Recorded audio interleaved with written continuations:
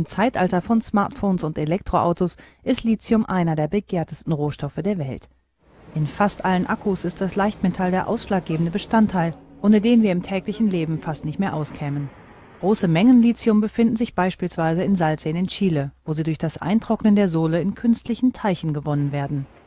Das geht leider mit gravierenden Schäden für die Umwelt einher und die Suche nach Lithium versetzt Firmen weltweit in einen erbitterten Wettlauf um den Zugang zu dem Metall.